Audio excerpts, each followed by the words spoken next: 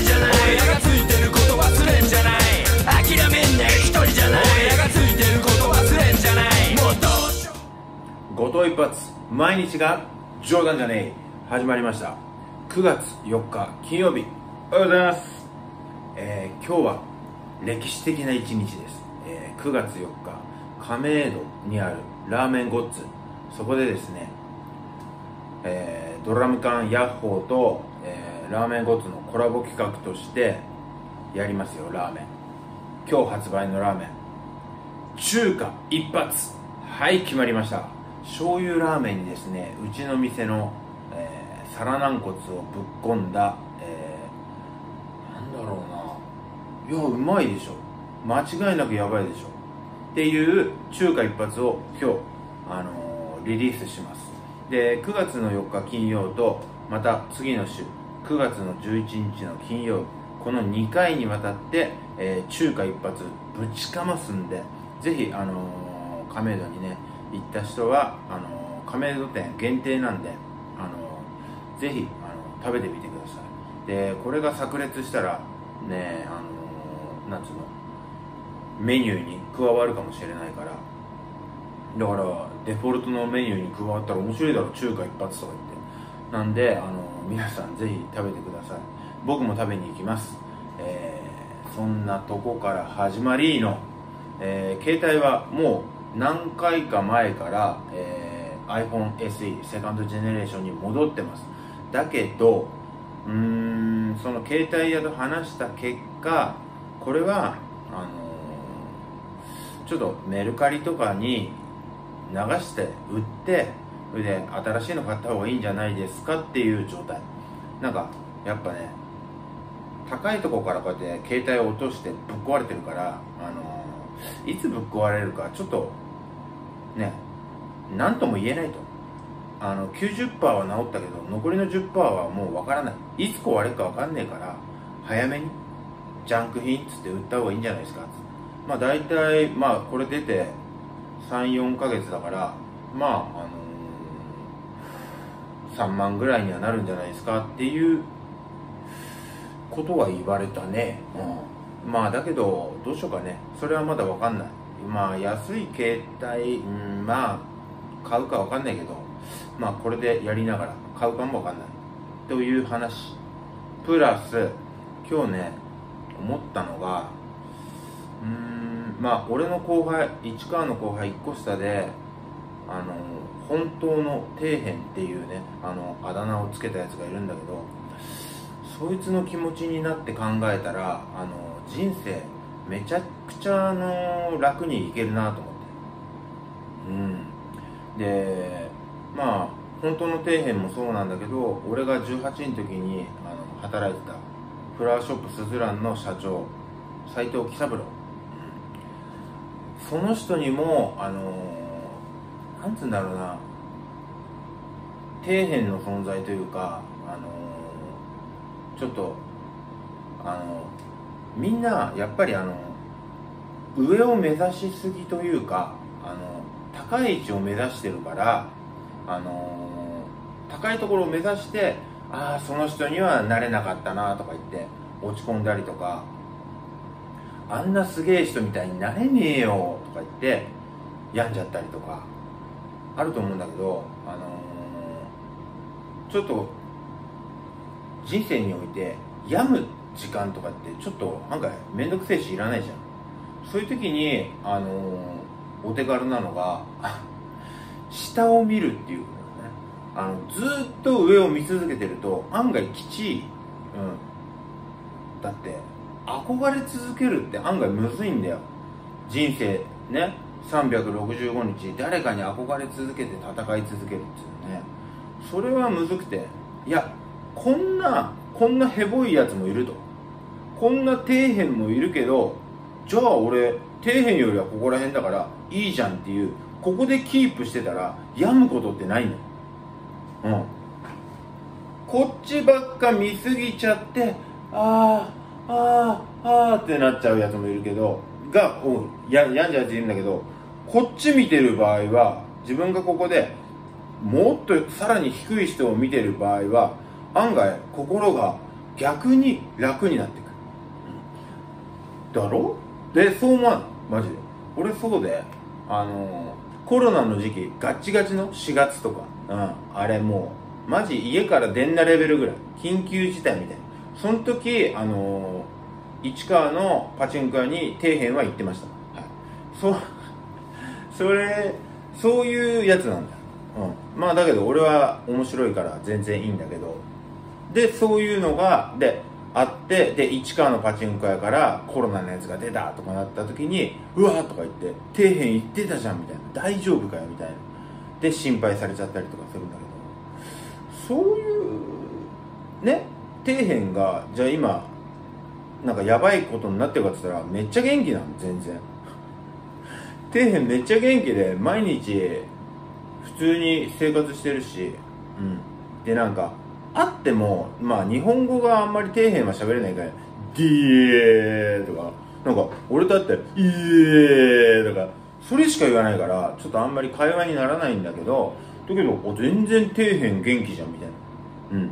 だからあのー、みんなもあのー、ちょっとねもう友達でもいいんだけどあこいつこんなこんなダサいんだみたいな。あだけど全然なんか人生楽しくやってんじゃんみたいな。やつって超いるから。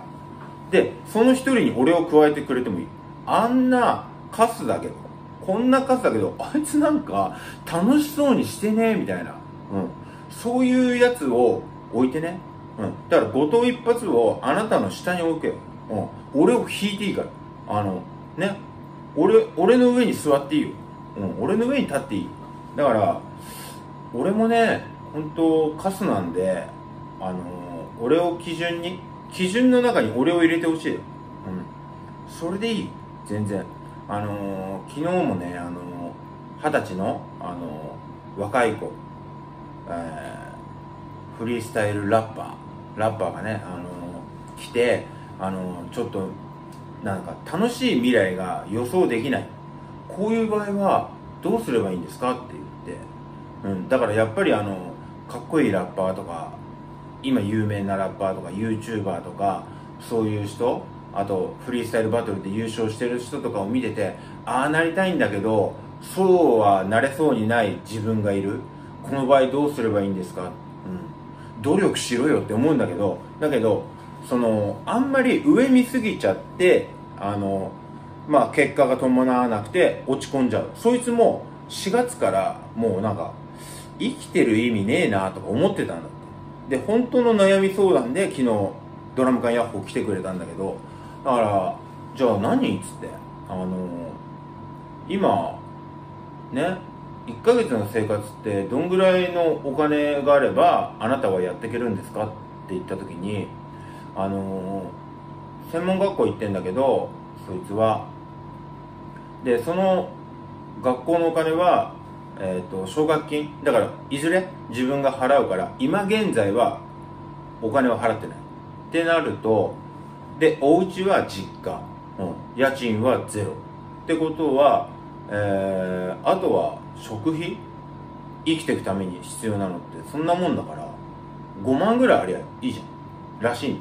で5万ぐらいアルバイトして稼いだお金で生きてるんだけどそれであのいいじゃんうん、だからなんかあ5万で生きていけるんだって思ったの、うん、俺は。俺はっていうか俺は無理なんだけどその子は5万で生きていけるわけだ現在。だったら専門学校行きながら5万円で5万円分ぐらいのアルバイトしてでラップであの活躍したいんだったら使える時間をラップに注ぎ込めばいいだけ。うん。だからあのそれであのだから稼がなくていいっていうの案外楽じゃね？うん。みんななんかノルマじゃないけど大体10万20万とか稼がないといけないとか思ってて。うん。だけど本当に底辺レベルで自分も俺も考える。生き生きていくためにい生きていくにはいくら必要かっていう。それは絶対みんな考えてた方がいいんだよ、うん、あの俺今まああのあそうそうそうそう。まあいいや。家賃払ってまあマンション借りて住んでる。けどそれ15万ぐらいする。だけどそれ削れるんだよね。実際は。千葉県に住んでんだけど千葉県の一か実家鶴屋食堂に俺が家族とみんなでウィーンっつってそこに行ったら家賃ゼロじゃん。そしたら15万浮くわけじゃん、うん、そしたらあと食費ととか言ってやっていけば全然こうやって下がる。だけどあのまあ奥さんとかは嫌っていう絶対。俺んちの実家になんか嫌だよ住みたくないよみたいな言うかもしれないけど生きていくためにはって考えたらその15万も必要ないというか今は払えてるけどもしかしたらね本当ドラム缶ヤッホーも調子悪くなっちゃってとんかつパンパンも激調子悪くなっちゃったら収入なくなったらねえいや家賃払わないで済ましてくださいよ。言えないよ。俺の家は以前巨人でね活躍してた小笠原選手が住んでた家なんですよ。なんか俺そこすげえ気に入ってるし今住んでる家。で結局あの本当の底辺ってその1個下の後輩は不動産屋なんだけどそいつはあの俺にその小笠原の住んでた物件を紹介してきたやつ。もうここかれこれ十何年もう本当の底辺に俺の家選びはさしてるんだけどあのまあそういうのもあるしなんか、まあ、出た、まあ、今住んでるとこにいたいんだけどだけどみんなもね本当にやばくなったらどうするんだってことをあのこの片隅に置いといた方がいいと思うんだよね、うん、そうするとあのなんだろう。やっぱりさあのやりたくねえ仕事とかもだけど家族のためにとか言って働いて30万とか稼いでそれで家賃とかやっていくんだよだけど本当に実家が近くにあったりとか帰る場所があったりとかなんか2万3万円の家があったりとかそういうところにランクどんどんどんどん落とすことも時には必要じゃない？うん。あの15万の家に住んでても収入は上がらないそんなに。うん。だけどあのさあの3万の家住んでも収入は上がらないけどだけどね12万もマイナスになったらそれなんかに使えるかもしれないし、うん、そういうこともちょっと頭に置いといてほしいんだよね。あのちょっと言い方悪いわけじゃないんだけど下を見る、うん、上ばっか見んなと。上ばっか見ないで下見てあこんなカスよりは私大丈夫っていうちょっと安心持っといてもいいよ。別に言わなきゃいいじゃん。思ってるだけなら。そうしたらやまない、うん、猫の写真ばっかこんなパシャパシャパシャパシャ撮んねえよ。そういう下ばっか見てるやつはねそういう行動にも出ない。ちょっと憧れ見てああ辛い。猫みたいに自由になりたいパシャとかそうなっちゃう。そうじゃない。だからちょっとお前ら下を見る。下下下下。そう。あとちょっとなんつうの節約じゃないけど金をねあのやっていく時にあの削っていく時にちょっとさあのオンラインサロン入ってるとかなんか食べログ入ってるとかなんかのアプリ入ってるとかあると思うんだけどそういうのって大体月いくらだべ？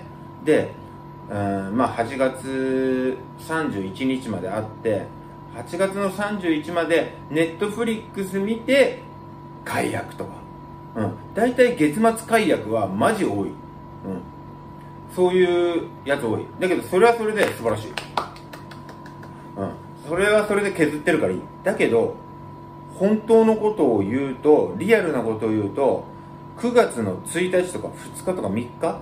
ここら辺の前半戦の前半戦で解約するやつが一番いかつい。なんでかっていうと9月の1日8月31日まではとりあえず見た。だけど9月の12とか見てないんであればそれもう見ないよ。あんまり楽しくない。そんなに楽しんでないサイトだったりアプリだったりするんだったら9月の1とかに解約しなさい。それが一番いかつい。だからタバコやめるんだったらあ20本入ってんだからあれタバコ。そしたら買って20本の状態で捨てられるやつ。そういうやつは続きますいい方向にだけど最後まで20本あったら20本吸ったらやめようっていうやつ。どっちがいい？な？わかる？これ同じことだから。タバコ20本でパーンって捨てられるのと9月の1日に解約できるやつですよだからまあ僕で言うと4月1日から入ってた、えー、西野さんのね、あのエンタメ研究所9月の1日に解約ですよ9月の1日まあ8月とか31とかまあ見たりしてだけどなんなんこれってどうなのかなとか思いながら9月の1日見てない見てない。見てなかった時にあこれは別に必要ないんじゃないか。かつ解約ですよ。そういうこと。そういうこともできるはずなんだって。もっともっと生活の水準を下げろってよりは一回あのギリギリはどこっていうラインを自分で下調べしてみろっていう、うん、ことをあのおすすめします。こんな感じで。5度一発毎日が？冗談じゃねせ